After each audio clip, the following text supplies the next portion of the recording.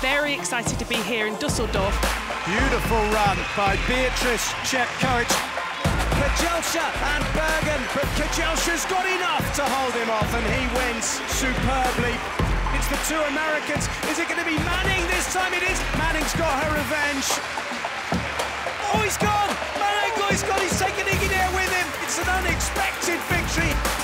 Baji thinks he's won it. It's mighty close. Pierre is beginning to come, but it's Asha Philip who's got up. But it looks like Su's going to win it again. He has. That was another terrific run by this 28-year-old from China.